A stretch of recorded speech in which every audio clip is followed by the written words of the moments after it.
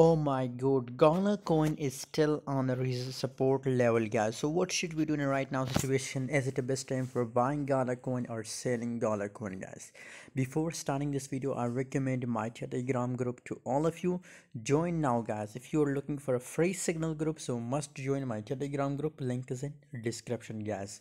Gala coin guys 5.54% positive changes occur in the Gala coin guys and 0.04381 is the current market price of Gala coin guys. So what should we do in right now situation? Is it the best time for buying or selling Gala coin guys?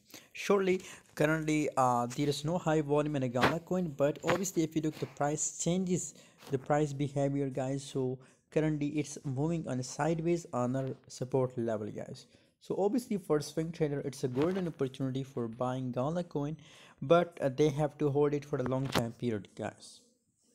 Best time for buying Gala coin in right now situation but you have to hold it for a long time period guys. Thanks for watching guys. For more latest update and for more crypto signal join us on telegram. Link is in description